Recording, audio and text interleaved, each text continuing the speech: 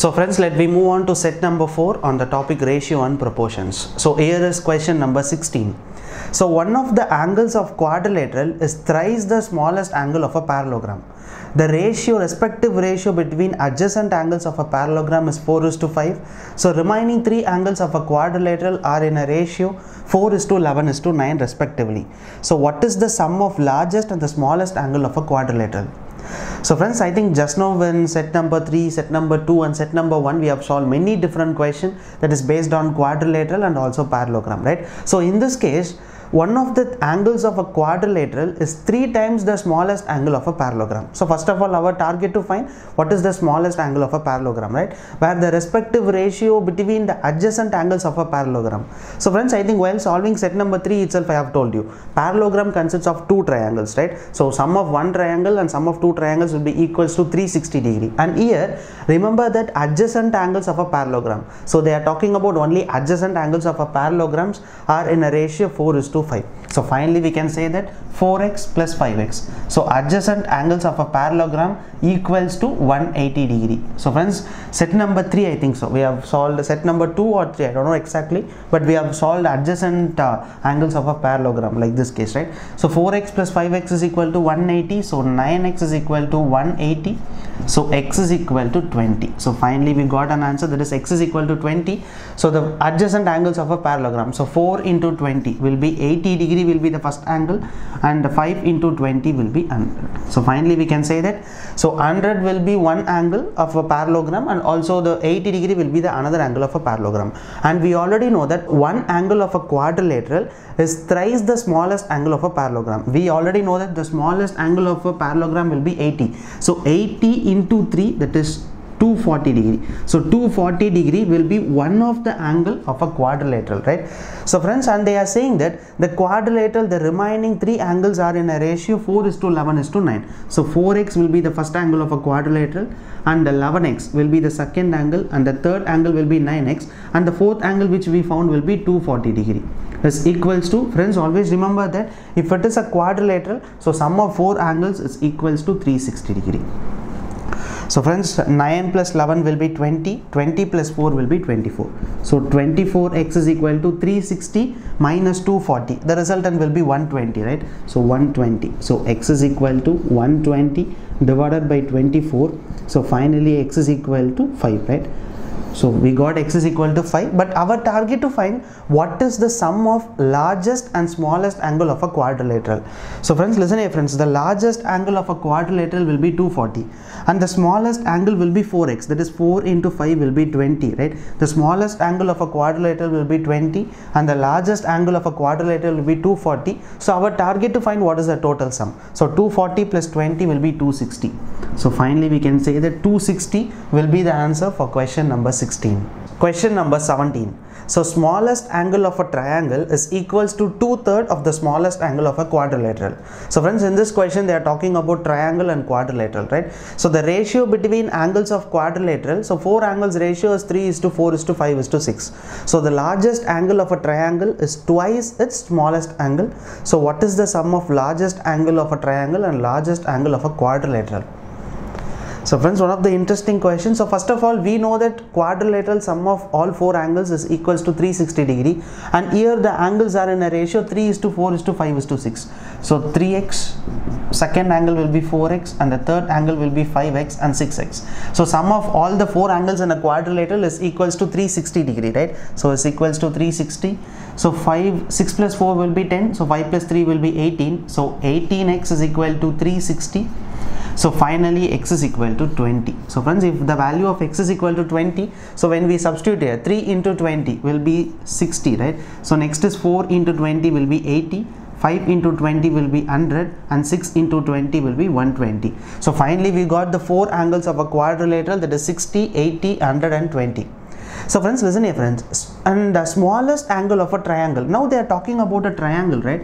So if it is a triangle it should have three angles and sum of three angles should be equals to 180 degree right and here the smallest angle of a triangle is equals to two third of the smallest angle of a quadrilateral.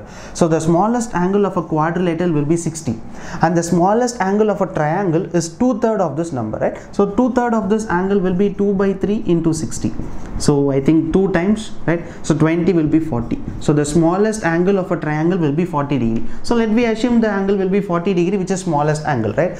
And another important thing the largest angle of a triangle is twice the smallest right? Largest will be twice the smallest. We already know that smallest that is smallest angle of a triangle will be 40 so the largest will be twice that is 80 degree. We already know that the total sum of three angles should be equals to 180 degree. So 80 plus 40 will be 120 so 180 minus 120 the resultant will be 60 so 40 degree 60 degree and 80 degree will be the angles of a triangle and the angles of a quadrilateral will be 60 80 100 and 20 and our target to find what is the sum of second largest angle of a triangle. So the second largest angle of a triangle will be 60 and uh, largest angle in a quadrilateral right? So largest angle in a quadrilateral will be 120 so 120 plus 60 will be 180 so finally we got an answer 180 for question number 17 question number 18 so the respective ratio between the present age of Manoj and Vasim is 3 is to 11. So Vasim is 12 years younger than Reena. So Reena's age after 7 years will be 85 years. So what is the present age of Manoj's father who is 25 years older than Manoj? So friends I think this question looks so interesting right. So first of all, there are two person and the present age of Manoj and Vashim will be 3 is to 11 friends. So friends, listen here friends, Manoj and Vashim, right? Both the person, the present age in the ratio that is 3 is to 11, okay? And Vasim is 12 years younger than Reena, okay? Next is Reena's age after 7 years will be 85 years. So friends, listen here friends. Reena's age after 7 years will be 85. So when we subtract 85 minus 7, then we can find what is Reena's present age. So 85 minus 7 will be Reena's present age. I think uh, 78, right? So 78 will be Reena's present age. So finally we have calculated Reena's present age will be 78 and I think we already know that Vasim will be 12 years younger than Reena right so we can say that Vasim will be 78 minus 12 the resultant will be 66 so the person Vasim present age will be 66 and the person Reena's present age will be 78. So now our target to find what is Manoj's present age. We already know that the present age are in a ratio that is 3 is to 11. So finally we can say that Vasim 11 parts will be 66. So the Vasim age 11 parts will be 66. So Manoj's 3 part is equal to x. So x is equal to 66 into 3 divided by 11. So we can cancel 6 times. So x is equal to 8 into 3 will be that is 6 into 3 will be 18. So finally we can say that the Manoj present present age will be 18 friends. So Manoj present age will be 18 and the Vasim present age will be 66. So friends our target to find what is the present age of Manoj's father who was 25 years older than Manoj. We already know that Manoj's present age will be 18. So 18 plus 25 years older right. So when we add this I think the resultant will be 43. So finally we can say that the Manoj's father's age will be 43. So friends one of the most interesting and important question. So understand the concept right. If you understand the concept you can crack all the question in the exams. Question number 19. So the ratio between the present age of Arti and Savita is 5 is to 6, right? So friends, present age of two person that is Arti and Savita, right? So okay, so Arti and Savita, the present age will be 5 is to x. And Arti is 9 years younger than uh, Janavi, right? So Janavi age after 9 years will be 33 years. So the difference between Savita's and Arti age is same as the present age of Janavi. So what value comes in x, right? So friends, our target to find what is the value of x First of all, let me understand the concept, right? First, there are two person, Arti and Savita, and the present age are in a ratio that is 5 is to x. And Arti is 9 years younger than Janavi, right? Another person, Janavi. So, Janavi age after 9 years, it will be 33. So, friends, listen carefully, friends. Janavi age after 9 years, it will be 33. So, we can surely say that Janavi present age will be 33 minus 9. The resultant will be 24. So, 24 will be the Janavi's present age, right?